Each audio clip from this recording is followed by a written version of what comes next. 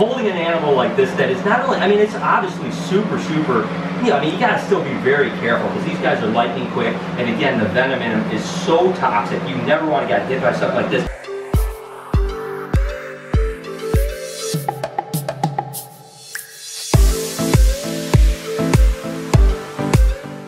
Hey, good morning everybody. It is just past 4 a.m. so it is super early. My flight leaves in about two and a half hours to Florida. I'm about a 45 minute drive away. I hope you guys are gonna have an amazing day and I hope that you're ready for adventures over the next five to seven days because it's gonna be pretty awesome. What do you say? We hit the airport. At the airport, bright and early. It's pretty chilly out here, so let's hope that uh, the ride is smooth. Whew.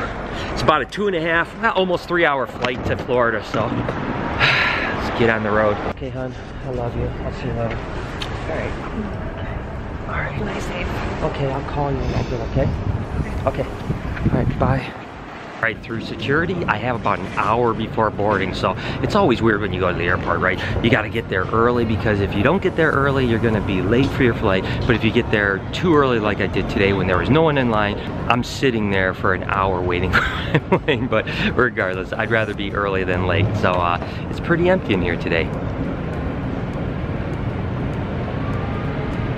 It's been a long time since I've flown this early in the morning, but uh, I don't know that I've ever been to the airport when it's been so dead. I mean, there's no one here. It's kind of freaky in a way. but hey, better than being so packed and being late for flight because trust me I've had a lot of those for sure you guys know every time I travel I talk about the water bottle trick you gotta bring one of these water bottles go to a drinking station fill it up that way you don't have to buy water you don't have to worry about it and you always have ice cold water which makes your trip better do it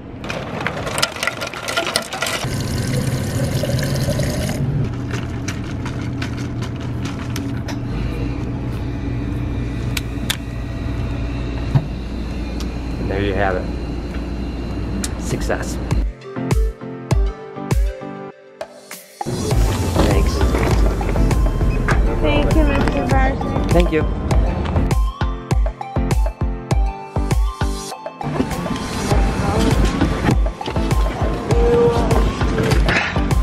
All right, here we go.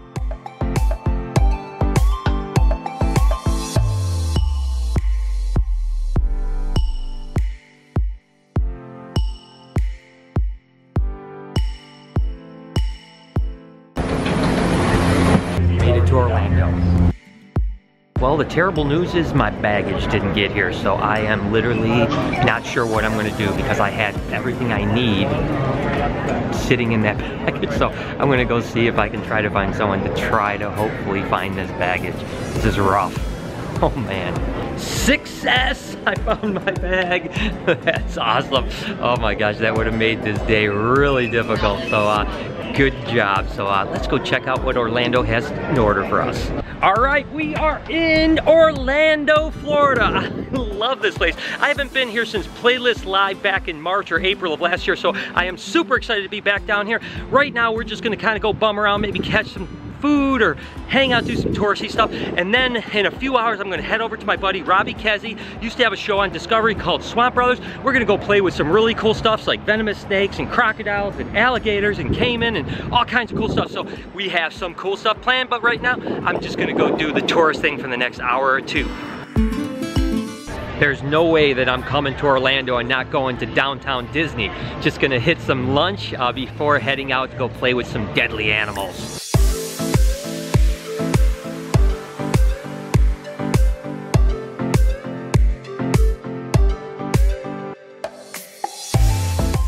You can call me a big kid, I don't care because I love Disney. I couldn't come here and not at least come to downtown Disney. So, okay, now we're off to go play with animals. Take a look at this fence right here. How awesome is that? It's got a little crocodile on there. It's all vines. This is my buddy Robbie. He used to have a show on Discovery Channel called Swamp Brothers. We're down here visiting his place. We're probably gonna spend a few hours here today looking at maybe some venomous snakes and stuff like that. And we're gonna probably come back tomorrow and do some more crocodile and alligator stuff because it's starting to rain, so we don't wanna be outside. But anyways, he's gonna be here in a second. We're gonna go in and we're gonna look at some cool animals. All right, guys, I am absolutely dying here. I've been following Robbie's little Cuban croc cyclone ever since it was hatched.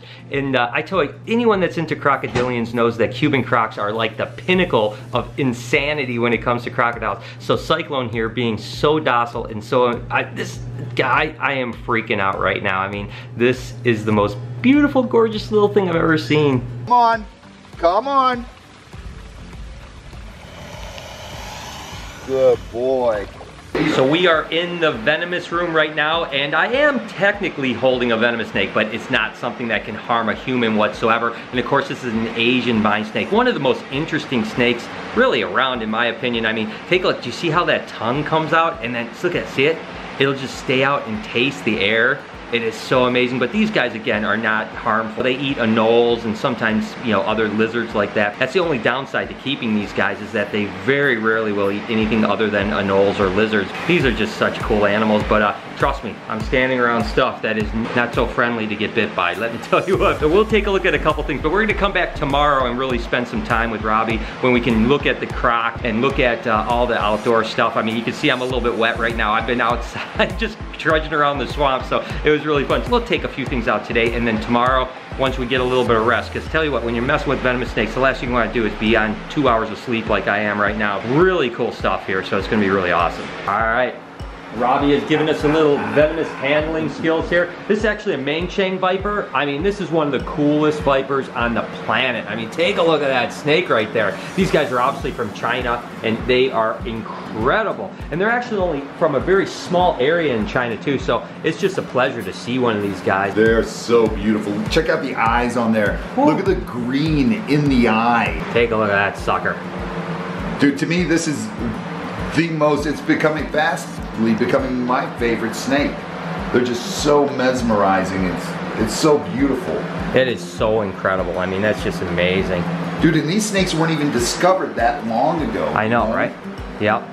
And there's no there's no anti-venom for these. And they're not even that aggressive. You can see this.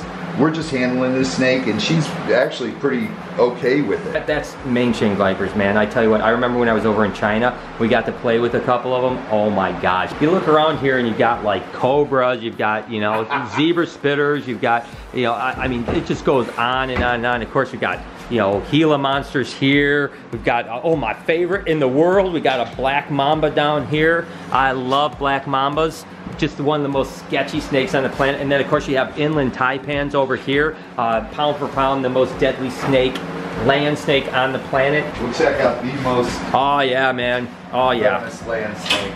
All right, man, we're going inland taipan for you guys right now, man.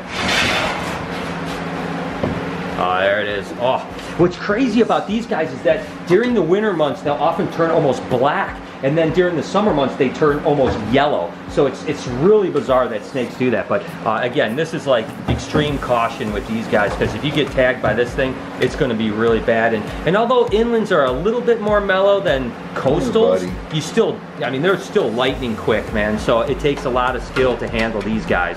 There it is. Look at that sucker right there. And you can see that really dark look to him. That's winter. winter. That's winter, yeah. They're one of the few snakes that are uh, color dimorphic like that for the seasons. Yep. And they'll darken up like you said. Now in the summertime, he's almost all yellow with a black head. And right now you can see his head, he's, it's lightened up, but it's brown. But his whole body is like that, and they do that so that they can get warm up. They Yep. can attract heat. Yep. Can I give a go at it right now? Yeah, dude. All right, man. Hey, you hold the camera. Don't run. It's okay. Here, look. Check, check him out. Why No, no, no, no, no. backing up? Why is that camera backing up?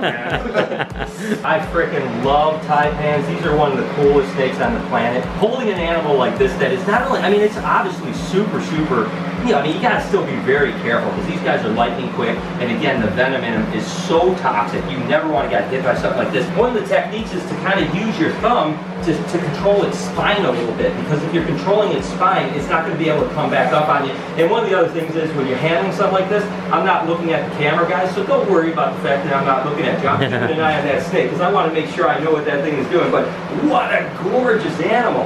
Whew. Look at that, guys. The most deadly land snake on the planet. Their venom is so toxic because, again, these are a species that spend 90% of their life underground. Right. Now they're going through all the burrows, and when you are chasing prey, your venom has to work quick so that that mouse doesn't take off down a burrow and Right. you can't find it. Right.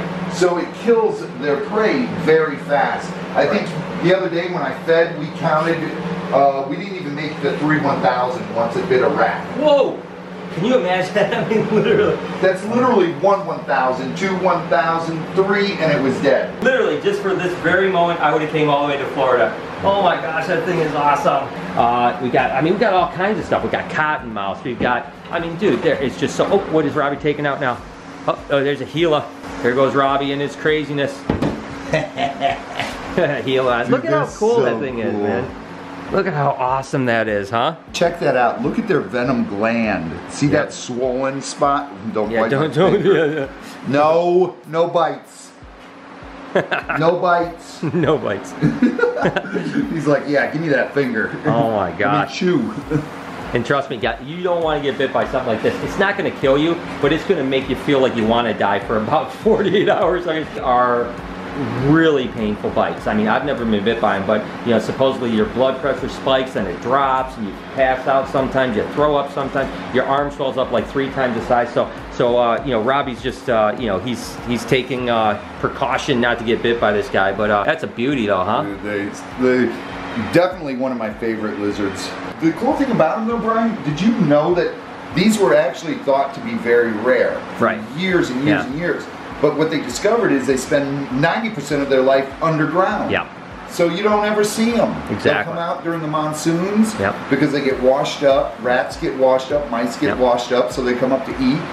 And then they'll go back underground when it dries up. I just love being in this room, man. This room is like it's like the dream room for me, man. Just look around, you see all these really cool venomous snakes and obviously venomous lizards. I've made mention a ton of times that I typically don't plan hardly anything when I travel and I just kind of let things go. Well, this is only the second time this has ever happened to me. Literally every single hotel in the Orlando area was sold out. We just spent the last two hours going hotel to hotel to hotel with no luck. Finally, we ended up an hour away from Orlando in a not such great hotel. Regardless, it's yeah, it's livable, guys. We're gonna be okay, and uh, I am going to just uh, do my best to sleep on this extremely uncomfortable bed for the night. Regardless, maybe every now and then I should plan a little better.